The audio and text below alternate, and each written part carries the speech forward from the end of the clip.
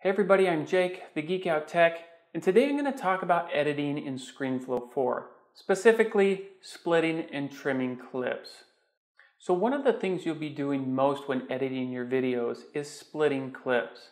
This allows you to turn one clip into multiple clips so you can rearrange your video, you can remove unwanted video, and you can insert images or other video clips. In order to split clips, the first thing you need to do is position the scrubber. The position of the scrubber always dictates where the clips are going to be split. Let's say I want to split this clip here. All I need to do is go down to this little red tab that's attached to the scrubber at the bottom and click on it. And that'll split all the clips that cross over the scrubber line. The only exception to this is if a clip is locked. The other thing you can do with the scrubber when splitting clips is to create a gap or to create a transition. And you do this by, let me move here. And when you click, you can click and drag this to the right and you'll create a gap. And if you drag it to the left, it'll overlap those clips and automatically create a transition. There are a couple other ways to split clips. One way is to use a keyboard shortcut by pressing the letter T. And you can also come up here to the Edit menu and select Split. And if there are no clips selected in the timeline, it's going to do the same thing as a scrubber. It's going to split all of them.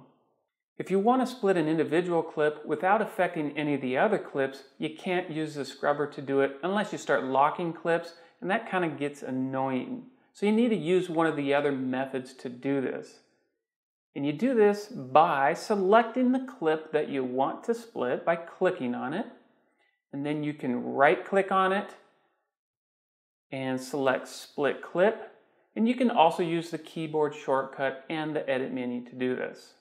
You can also use this method to split multiple clips without affecting all the clips. Let me show you real quick. Let me rearrange things here. Let me drag these down.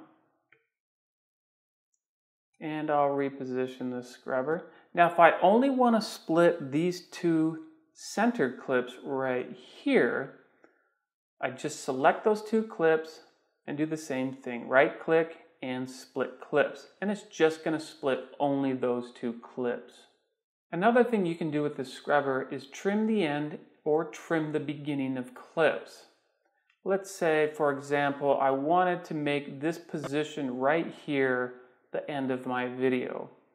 I can just select these clips that cross over the scrubber, go up here to the Edit menu, and select Trim End to Scrubber. Trims those up. And you can also trim the beginning. If I want this to be the beginning of my video, just select those up here to edit and trim front to scrubber. Now there are two different ways to make this point the beginning of the video.